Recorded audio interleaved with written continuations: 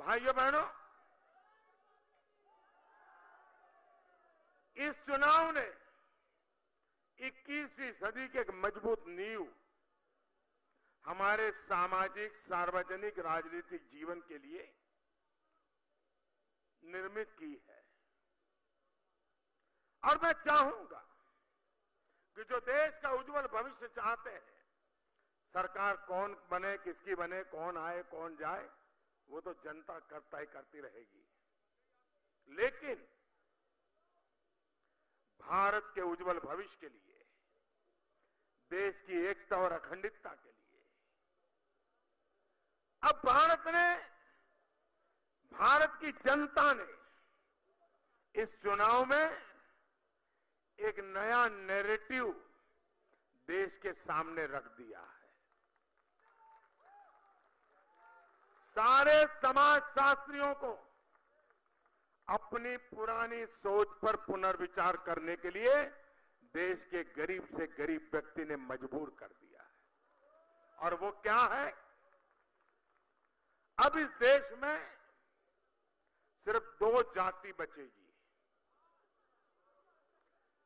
दो जाति ही रहने वाली है। और देश इन दो जाति पर ही केंद्रित होने वाला है। ये जाति के नाम पर खेल खेलने वाले लोगों को ये बहुत बड़ा प्रहार इस चुनाव में हुआ है।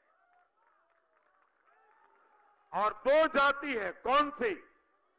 अब 21वीं सदी में भारत में एक जाति है, गरीब।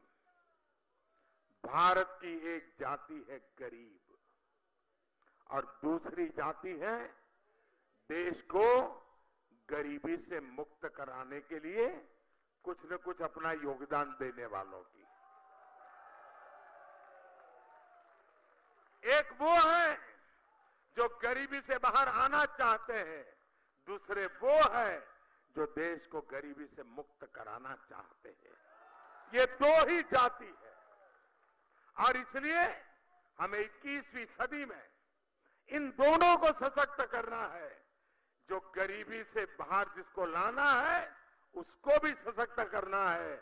और गरीबी से बाहर लाने में जो बढ़ चढ़ करके मदद कर रहा है, उसको भी ताकतवर बनाना है।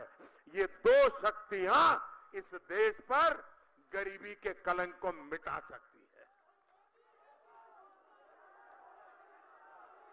इस सपने को लेकर के हमें चलना है।